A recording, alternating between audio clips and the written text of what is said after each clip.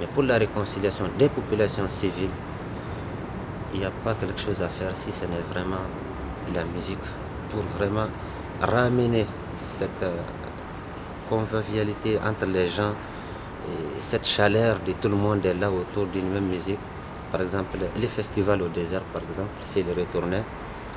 C'est pas que les Touaregs, c'est pas que les Bambara, c'est tout le monde qui est là, tout le monde qui est là pour la fête, on oublie tout.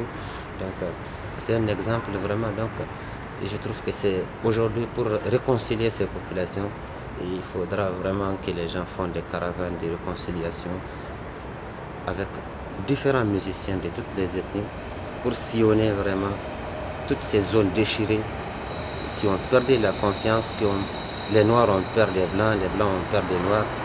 Alors sur une même scène, si nous voyons, nous les musiciens, en train de chanter et danser Noirs et Blancs, je trouverais, pour moi, c'est la seule solution pour ramener la confiance entre les populations.